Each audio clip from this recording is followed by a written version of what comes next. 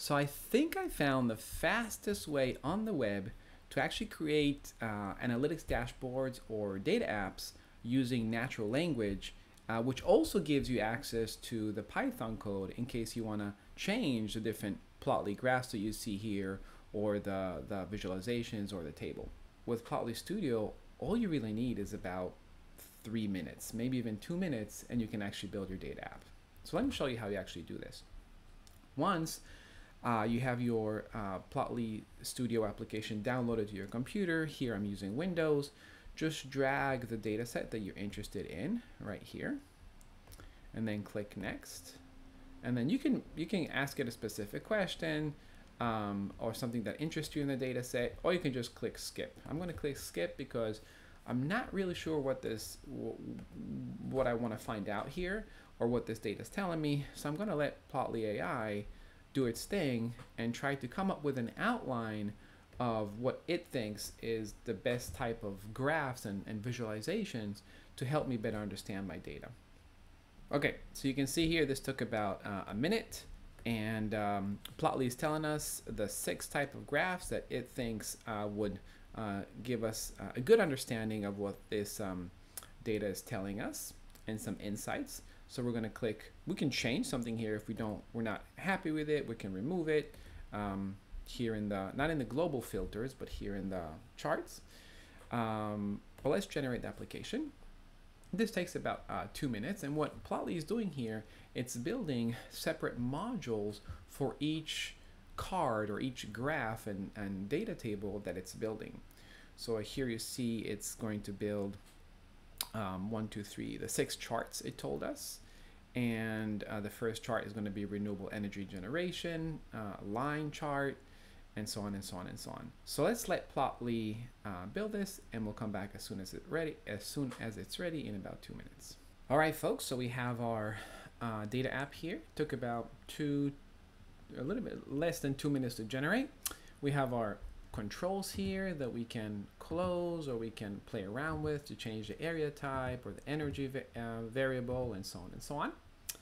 We have some summary cards and then we have the graphs that uh, Plotly said it was going to generate. The renewable energy graph, the power sector emission country, and so on. This is a beautiful graph actually. I really like this. The clean energy percentage, um, and so on and so on. Now, let's say there's a visualization or a certain card. Here is the AG grid dash AG grid that you're not too happy with, or you wanna you wanna wanna change. Um, you can do that in these modules here. So look at this. Here we have we can choose country. Uh, and change and see the different uh, from all the variables uh, see the year over year change in, in as a heat map right in the different fossil fuels in Austria gas um, coal clean energy and so on and so on but this could get ugly if we have all countries. Like this could get like a really, really long uh, visualization if we allow it to choose all countries. So we're going to go to year over year change right here. This is the heat map. Electricity, uh, not demand, the year over year change. And we'll see um, that we have the code, right? That we can actually change if we know what we're doing, we can go into the dropdown and just change the dropdown directly and say, I don't want the all countries option. I just want um, um, single select uh, drop down with um, one country at a time with no option for all countries. So I'm going to do that here. Right here we have the specification. It tells us this is what it built from our prompt right here. So what we can really change, we can try to update the code, but it's usually better to try and um, uh, update the outline right here. Uh, year over year percentage change as a heat map with drop downs for variable selections and country filtering. All European countries uh, do not do not include the option for all countries in the drop down. All right, we're going to do that. We can see the, the uh, preview here, um, but we actually didn't save it. We've got to click this to submit changes. And now is going to uh, rebuild the, uh, the code and the specification based on our um, prompt here. and we should also be able to see a preview of this um, new build. All right, there we go. It rebuilt it. Now we'll go back to the app summary up here to the top left. And we should see the new the new heat map in the uh, data app that we built a couple of minutes ago.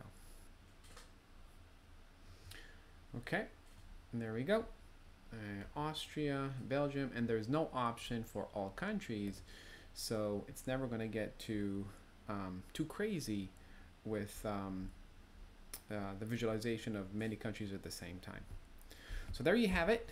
Um, to get started, all you really need to do is uh, go to the link under the video and it will take you to this page and just um, open uh, an account here on Plotly Cloud, uh, download it for either Mac or uh, Windows, and that's it. The first page that you should see once you download it is this page right here, right?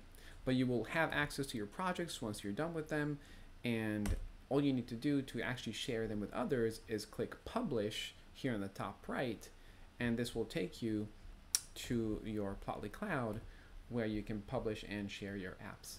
Now, I'm also going to add these apps that uh, I built a couple of uh, weeks ago, so you can check them out under the uh, video as well. The last thing I wanted to say is that I really recommend that you do this right now because for a limited time, I think for the next few weeks or so, this is uh, completely free. Um, the usage of, of uh, Plotly Studio and Plotly Cloud. Even later, there will be a free tier, but now it's pretty generous, um, generous usage. So definitely take advantage of it. Go to uh, this link and um, and have fun.